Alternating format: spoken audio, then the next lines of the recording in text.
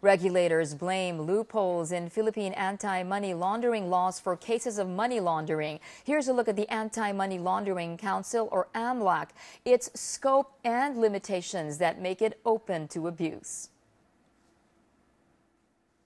The Anti-Money Laundering Council acts as the country's financial intelligence unit and is equipped with investigative and prosecutorial powers. It was created through Republic Act 9160, or the Anti-Money Laundering Act, in September 2001. It is mandated to protect the integrity and confidentiality of bank accounts and ensure the country will not be used as a money laundering site for the proceeds of unlawful activities. Money laundering is the process of making illegally acquired cash appear legitimate through dummy businesses or fraudulent financial transactions. AMLC is tasked to implement both the AMLA and Republic Act 10168, also known as the Terrorism Financing Prevention and Suppression Act. The governor of the Central Bank of the Philippines acts as the council's chair.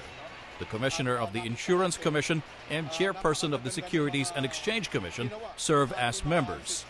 One of AMLC's main tasks to penalize money launderers involved in unlawful activities, including plunder, graft, and corrupt practices, violations under the Electronic Commerce Act of 2000, terrorism financing, and the illegal numbers game jueteng.